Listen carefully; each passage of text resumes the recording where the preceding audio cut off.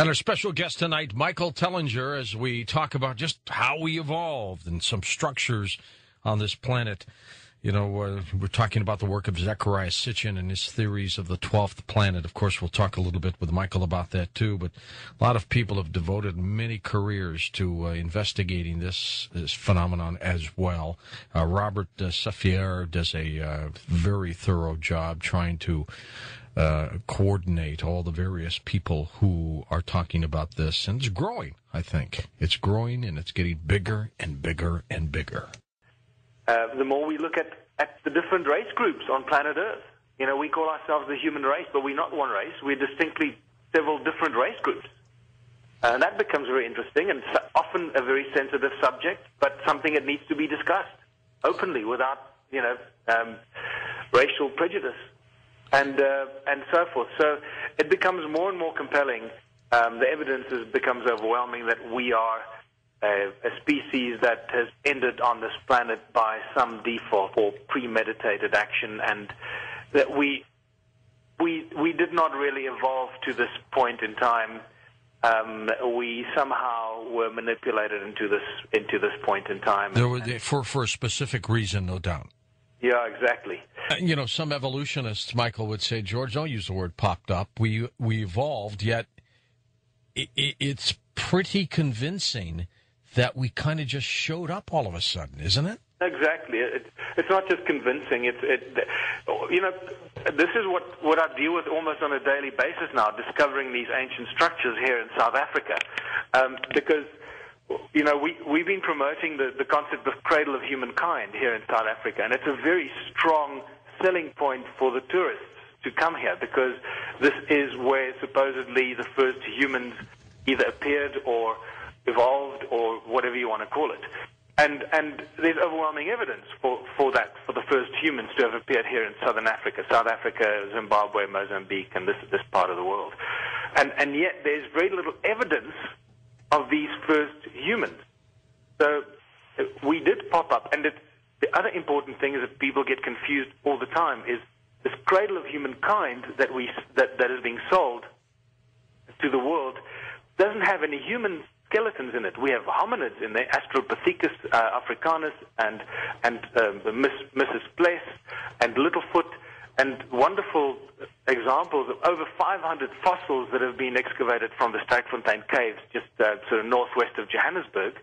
Um, over 500 fossils, if, I, have got it right, uh, but they're all hominids, no human skeletons there. So these are all the so, supposedly um, pre pre-human um, evolutionary states. They are not human.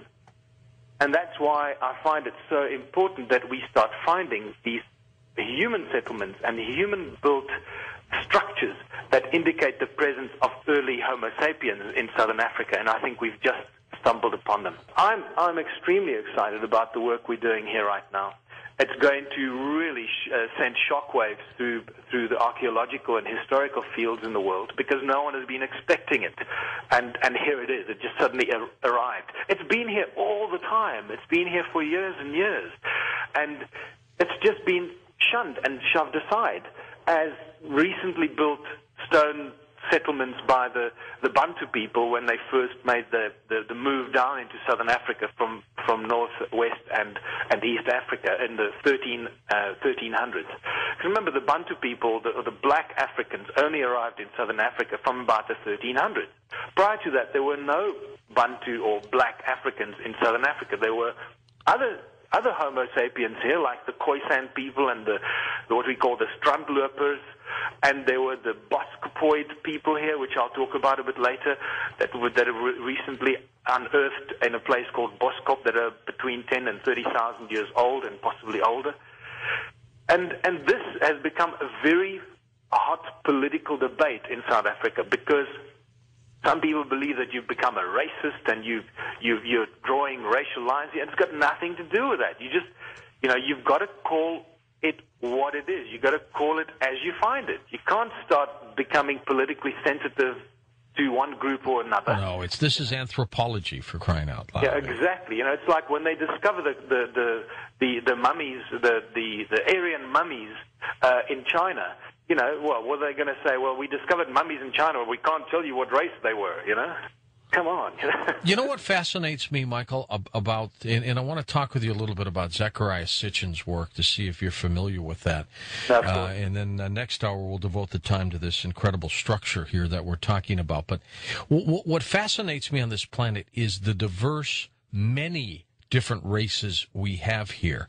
Is it because of environment and locale, or are these all? I've always thought about this. Are are these all various sex races from other extraterrestrials that have been here and you know they've manipulated in their own image so the uh, the asian person the caucasian the african uh, they are in the image of the extraterrestrial that came to this planet a long time ago have you ever thought of that yeah, absolutely. And and once again, you you obviously um, give this stuff a great deal of thought, and I think you put your finger right on the button one one more time. Um, eh, what, what again? I I look at this um, scientifically, genetically, and and um, and ecologically. You know, if we only appeared as a species 250,000 years ago, um, not enough time has passed for these different race groups to have evolved. And I don't care what kind of um, scientific evidence anybody throws at you, it's just not going to happen because the genetic, the, genetics, the, the strength of the genetic pool that keeps the Asian person Asian is so strong that it, it, it defies any kind of argument or scientific uh, or, or a, a, genetic evolution into that. It, it just doesn't make any sense. Um, and the same goes with, with African people.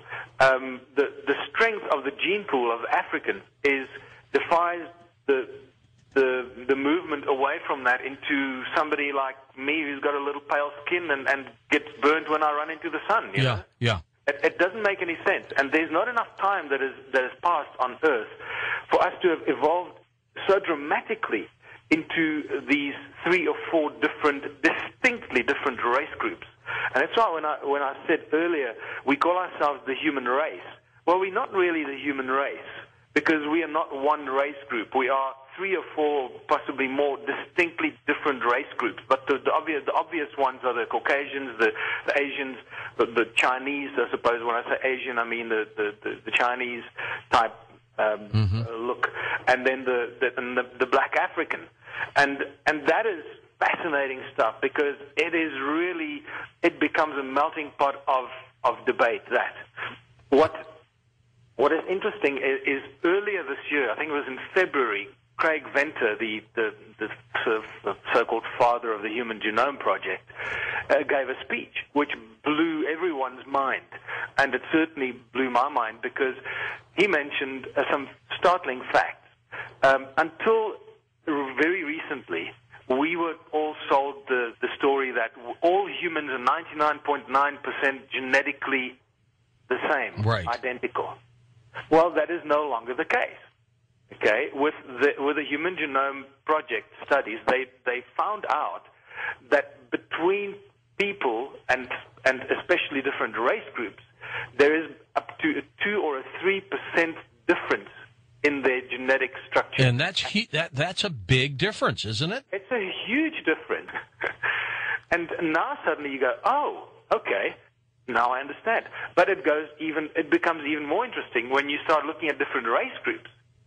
The way different race groups respond to environmental um, factors like malaria and other disease, the way race groups respond to medicine and medication, shows as much as a 15% genetic difference in their in their response to to these uh, external factors.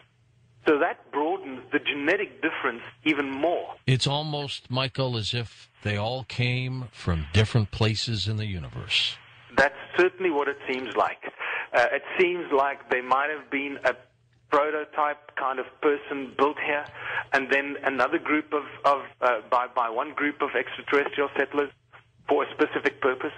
And by that I mean, um, you know, in my previous book, Slave Species of God, uh, and, and the work that Zecharia Sitchin has done, the cloning of the humans by the Anunnaki, many of your listeners mm-hmm. will be very familiar with that.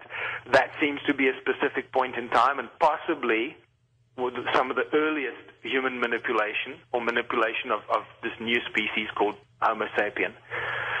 Um, and yet there is another uh, another um, theory or belief structure that, that says that there were advanced humans on planet Earth, the Lemurians and then later the Atlanteans, um, who were quite advanced and who were um, settled on this planet, living a completely different kind of lifestyle that was then infiltrated and completely um, uh, overturned by these extraterrestrial. Uh, that's a, that's an interesting theory too. More to come, Michael, when we come right back on Coast to Coast AM.